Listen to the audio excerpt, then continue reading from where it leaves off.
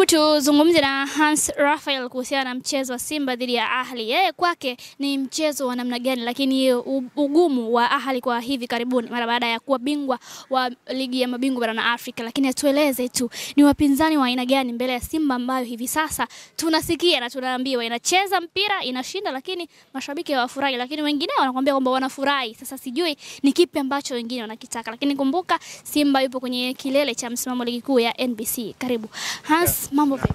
Freshi.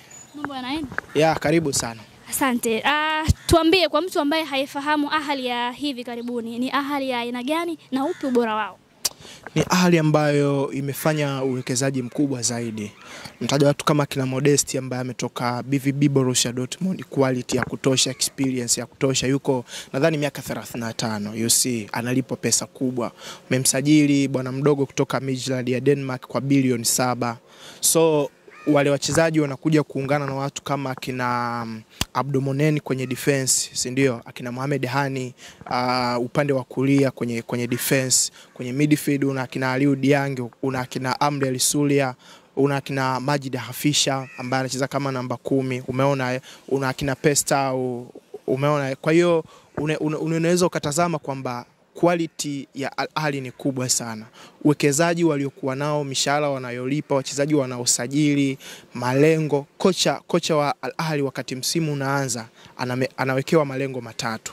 Kwanza ni kushinda ubingwa wa ligi, pili ni kushinda ubingwa wa CAF Champions League, tatu angalau amalize mshindi wa tatu kwenye ko, kombe la dunia la virabu, angalau amalize mshindi wa tatu.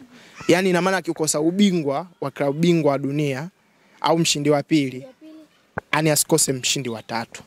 Kocha ukitimiza hivyo then uko sawa, lakini ukikosa hivyo vitu then umeondoka. Kwa unaweza ukatazama malengo ni makubwa, lakini tunazungumzia Simba ambayo yenyewe malengo yao kushinda ubingwa wa ligi, FA, nusu fainali CAF Champions League. Kwa unaweza ukatazama ni vitu vili tofauti. Wachezaji waliokuwa nao, mishahara inayolipwa, kila kitu ni mbingu na ardhi, lakini kwali tunayoizungumzia inakuja kuamliwa zaidi uwanjani kwenye pitch dakika 90. Unaweza ukawa na quality kubwa lakini ukakosa mipango katika pitch, utaadhibiwa.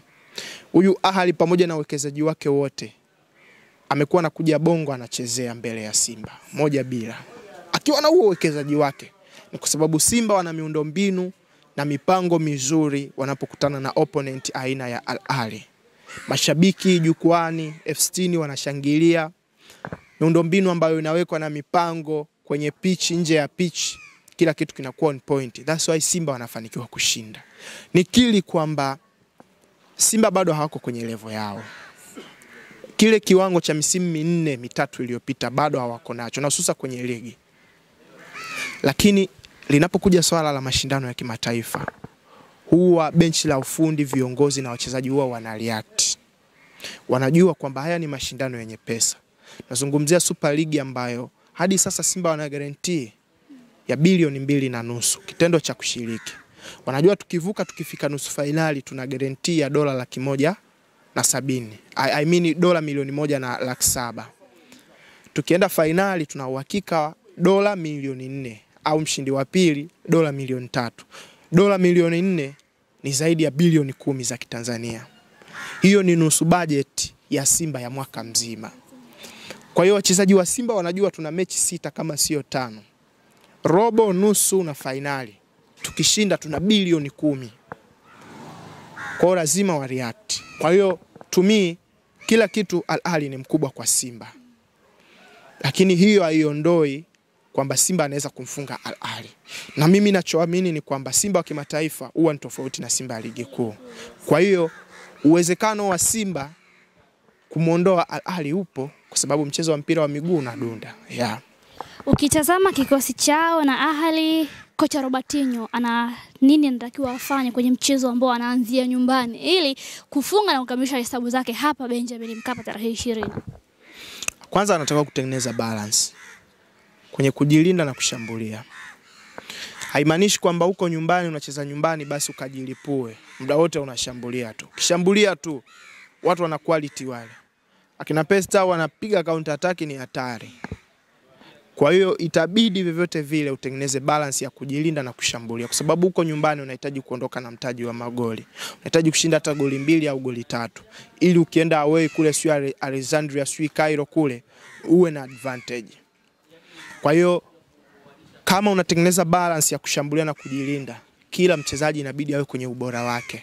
Tunapopoteza mpira wote tunarudi nyuma kudefend au kama tunafanya high pressing, tunapopoteza mpira kuanzia mshambuliaji kuja viungo kuja ma center back na ma full back wote tunafanya pressing, tuna tuna, tuna, tunamkaba mpinzani.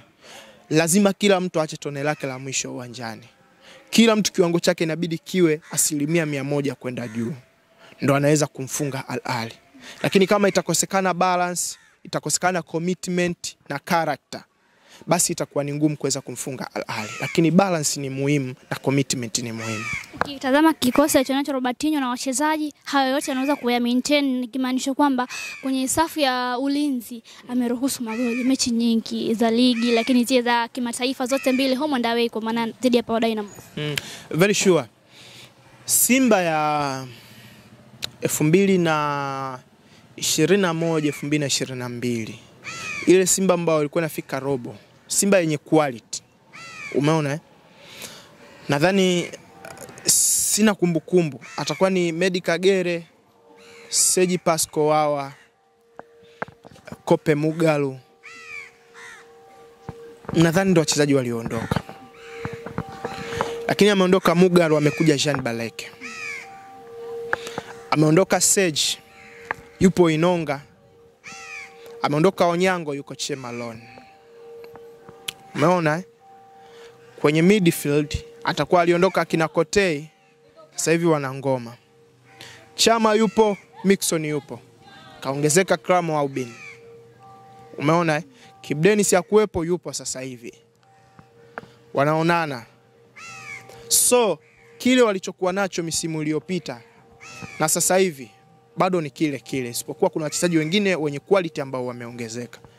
Ni wao kuweza kubounce back na kupush ile mentality yao kwamba wanaweza kufanya vizuri, kwa sababu quality wanayo, chemistry inahitajika, kujitoa kunahitajika.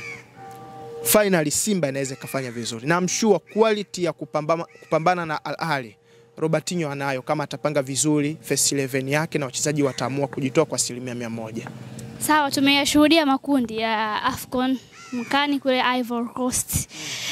Tumewaona pale kuna Kongo ndugu zetu, kuna Zambia, wote hao wachezaji wa, wa mataifa hayo wapo wanacheza Tanzania, lakini Fiston Mayele Kongo sasa hivi hayupo.